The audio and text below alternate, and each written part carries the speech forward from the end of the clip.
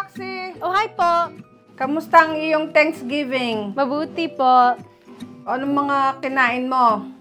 Turkey po, stuffing, gravy po, at lettuce, Brussels sprouts. Po. Ano ka muna, huminto ka muna sa iyong diet. Kaya kain ka lang ng kain kahapon. Opo. Nabusog ka ba? Opo. Masarap ba yung niluto ni nanay? Opo. Siyempre po. Tinulungan mo ba si nanay? Just Kuma- ng kumain ka lang dessert. eh. Napagod ako ah. Wala kang ginawa kundi kumain lang. Okay lang na, worth it ka na. So, saan tayo galing today? Well, guys, ngayon po, nagpunta kami sa sa outlet kasi po guys, Black Friday ngayon po. Wow, Black Friday. Yes, opo. So, wala ka namang binili kaya. Ano binili mo? Just ng sapatos lang. Sapatos lang. Isa lang, isa lang ng item kasi po guys, ah, ayaw ko po ng spending mar- lahat of ng pera, ah, pera mo na eh. Bakit? Pera, pera mo kaya yon Inawas ko sa iyong bangko. Hindi. Isang isang ano lang naman eh. Yeah, isang opo. item lang naman. Um, no, ah, ito po ng sapatos, used to be 80, ngayon po $40. So, ng $40 discount po. So, Wow. sobrang nice. Secret, secret, Secret to lang yung ano, Opo. yung sapatos. Opo. Di ba nga nag-iba ka na ngayon ng diet? Opo. So, ano na yung, parang keto diet ba yan? Opo. Um, gusto ko po ng prutas, um, gulay po at meats po. But, uh, ayaw ko po ng potato chips o french fries Nagbago na ng diet si Roxy. Opo. Hindi na siya kumakain ng junk ng food. junk food.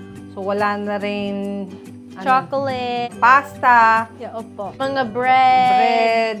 Tumigil na siyang Opo. kumain ng ng paboritong niyang ramen, Opo. ng kanin.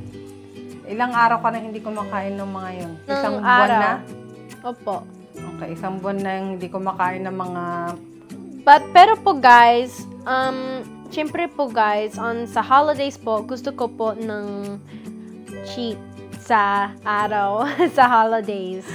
Yan. Kasi po sa Thanksgiving po guys, I cheated kasi po guys, um, kumakain ko po ng pumpkin pie. Ah, nagluto si iyong yes, si grandma ng ah, lola ko po.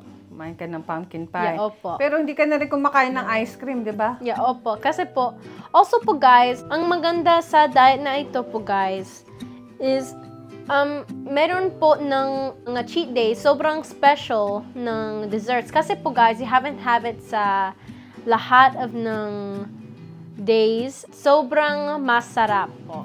Masarap. Opo. Gagawin mo ngayon? Natutulog ka na ba? Nakapadyama ka na yan? Well- Nakapantulog ka na?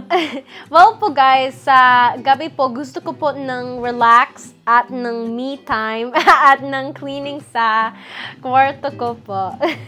Oh. Matutulog ka na ba? Ah, hindi po. Kasi po, guys, sobrang early ngayon po. Good night. Nanay! Sobrang ear- early ngayon po. Anong sobrang early? So- Late na kaya? Ah, hindi lang. Seven lang po. Seven lang ba? Akala ko matutulog na, tulugan na. What the heck? Good night. Sobrang early! Paalam. Good night. Sobrang early, Nay. Hindi po. Kasi po, guys, weekend bukas po, guys. So, Weekend ba? opo. So, so ngayon po, guys, gusto ko po ng stay up late. Anong to? Puyatan? Kasi po guys, sa weekdays, gusto ko po na mag- matulog po sa early. But pero po, sa weekends, okay lang to stay up sa 12. Paalam po guys!